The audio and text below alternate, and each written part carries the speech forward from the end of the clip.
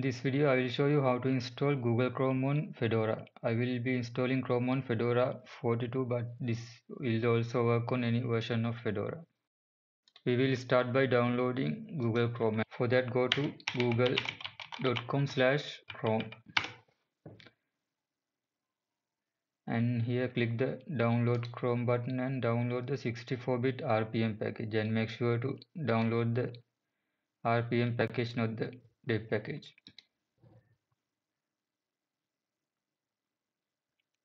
And once the download is finished, open a terminal and then cd into the folder where you save the RPM package and install it using the command dnf dnf install and when you specify the file name make sure to put a dot slash before the file name like this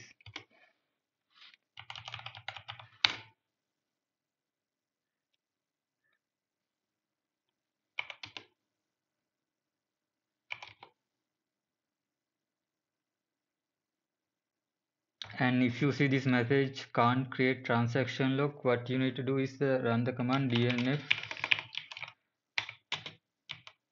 dnf reinstall google uh, dnf reinstall google dash chrome dash stable. And this will fix the issue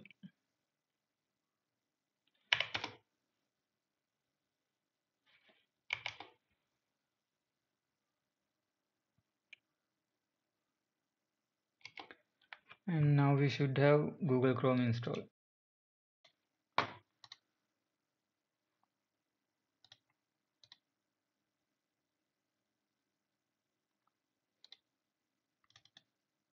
Before updating Google Chrome, first find out the name of the package that was installed. And you can do this by running the command dnf list minus minus installed. And if we, we can search for Chrome here. And here's the name of the Google Chrome package and we can upgrade it using the command dnf upgrade then the name of the package which is Google Chrome stable. And if there is any update it will update Chrome to the latest version. And another way to upgrade Chrome is by downloading the latest RPM package again and install it using the DNF command like we did before when we install in the Chrome and that will also upgrade Chrome to the latest version.